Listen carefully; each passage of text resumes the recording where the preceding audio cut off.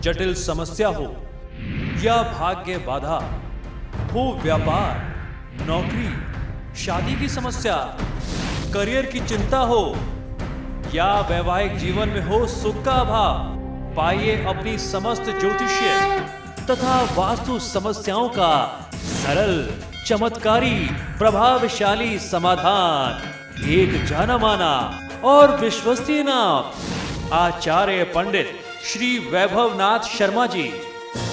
काशी के 400 वर्ष पुराने, प्रतिष्ठित और अंतरराष्ट्रीय ख्याति प्राप्त राज ज्योतिषी परिवार की आठवीं पीढ़ी के ज्योतिषी और वास्तु शास्त्री आचार्य पंडित श्री वैभवनाथ शर्मा जी के द्वारा व्यक्तिगत या फिर फ़ोन पर अपॉइंटमेंट लेने के लिए कॉल करें। Nine eight one eight three double zero one four six.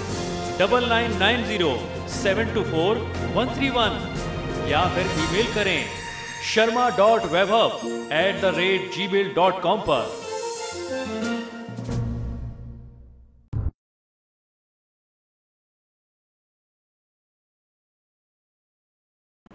नमस्कार, मैं हूँ वैभव नाथ शर्मा और आप देख रहे हैं मेरा यूट्यूब चैनल वैभवन। मित्रों, आज हम लोग चर्चा करने वाले हैं दरिद्रता दुर्भाग्य को दूर करने और सौभाग्य को बढ़ाने के परंपरागत कुछ ऐसे सरल और चमत्कारी उपाय और टोटकों के बारे में, जिनको प्रयोग में ला करके आप घर बैठे बिना किसी बड़े खर्च के दरिद्रता से और दुर्भाग्य से मुक्ति पा सकते हैं और सौभाग्य का आमंत्रण कर सकते हैं। जी हाँ। हर व्यक्ति धन कमाने का प्रयास करता है। कुछ व्यक्ति सफल होते हैं और कुछ लोग सफल नहीं हो पाते। आज मैं आपको कुछ ऐसे ही सरल उपाय बताने जा रहा हूँ, जिन्हें आजमाने से अवश्य ही शुभ शुभ फल आपको प्राप्त होगा। सबसे पहला उपाय यह है कि भोजन करने से पहले कुत्ते या गाय के लिए एक रोटी निकाल देनी चाहिए। आपको कभी भी आर्थिक समस्याओं का सामना नहीं करना पड़ेगा। प्रत्येक गुरुवार को तुलसी के पौधे में कच्चे दूध का अर्घ समर्पित करना चाहिए। इससे घर में आर्थिक संपन्नता और समृद्धि, वृद्धि आती है। शुक्ल पक्ष की पंचमी को घर में श्री सूक्त की ऋचाओं के साथ हवन की कुछ आहुतियाँ देने से घर से दरिद्रता दूर हो जाती है। हिंदू मास के आरंभ में शुक्ल पक्ष के पहले बुधवार की रात में कच्ची हल्दी की गांठ बाँध करके भगवान कृष्ण को आपको समर्पित करना चाहिए। अगले दिन उसे पीले धागे में बाँध करके अपनी दाहिनी भुजा में आप धारण कर लें। ये बहुत अमोघ कवच होता है। आपका दुख और दारिद्र से फिर इसके बाद कभी वास्ता नहीं पड़ेगा। शनिवार को अपने पलंग के नीचे एक बर्तन में सरसों का तेल रखें। अगले दिन उस तेल में उड़द की दाल के गुलगुले बना करके गाय को, कुत्तों को और गरीबों को खिला देने से आपकी गरीबी दूर होती है, दरिद्रता दूर होती है। और माँ लक्ष्मी के आगमन का रास्ता साफ़ होता है। गूलर के वृक्ष की जड़ को कपड़े में लपेट करके चांदी के कवच में धारण करने से अगर आप गले में पहनते हैं तो आर्थिक संपन्नता आती है।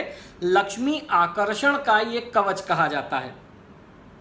कोई भी व्यक्ति यदि अपनी तिजोरी में नौ लक्ष्मी कारक कौड़ियाँ और एक तांबे का सिक्का रखे तो उसकी तिजोरी में धन हमेशा भरा रहता है।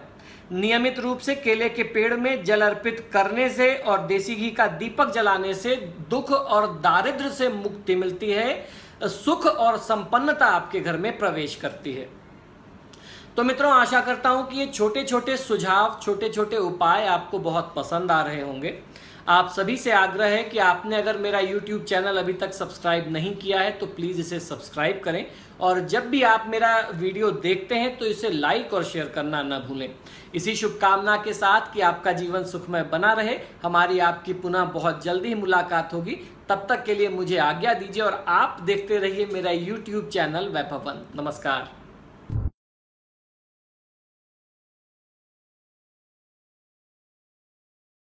जटिल समस्या हो, या भाग्य बाधा, हो व्यापार, नौकरी, शादी की समस्या, करियर की चिंता हो, या वैवाहिक जीवन में हो सुख का अभाव, पाइए अपनी समस्त ज्योतिष्य तथा वास्तु समस्याओं का सरल, चमत्कारी, प्रभावशाली समाधान। एक जाना माना और विश्वसनीय नाम, आचार्य पंडित श्री वैभवनाथ शर्मा जी, काशी के 400 वर्ष पुराने, प्रतिष्ठित और अंतरराष्ट्रीय ख्याति प्राप्त राज ज्योतिषी परिवार की आठवीं पीढ़ी के ज्योतिषी और वास्तु शास्त्री आचार्य पंडित श्री वैभव नाथ शर्मा जी के द्वारा व्यक्तिगत या फिर फ़ोन पर अपॉइंटमेंट लेने के लिए कॉल करें nine eight one eight three double zero one four six double nine nine zero seven two four one three one या फिर ईमेल करें Sharma dot Vaibhav at the rate gmail dot com पर।